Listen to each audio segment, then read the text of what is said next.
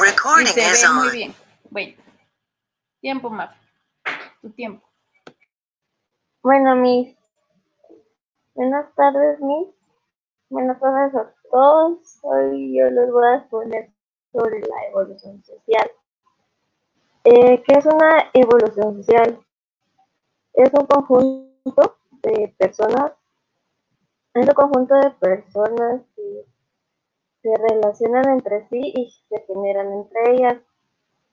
Lógicamente es muy sencillo, redundante que parezca, vale la pena enfatizar por el contacto mutuo y es indeciso de la existencia de la sociedad.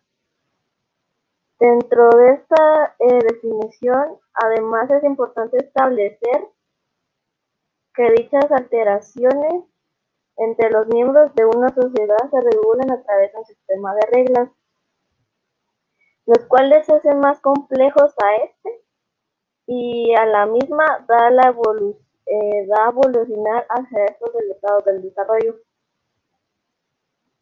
El concepto, acá hay otra imagen que es del concepto de la civilización, que está estrechamente ligado a la ciudad, ya que las ciudades se definen por la presencia de una población extensa, ocupaciones no agrícolas, no artistas, alfareros, división de trabajo, presencia de escritoria y religión de código. Es así como esta civilización se define como la alta comple complejidad de la interacción de una sociedad y la relación de su presencia a la misma y dentro de las ciudades. Esto existe también en la población ur urbana. Eh, a este proceso también se le puede llamar adaptación. Adaptación y terminar y bastante familiar, perdón. Puede ser más con convencional y pueden ser adaptadas a su ambiente.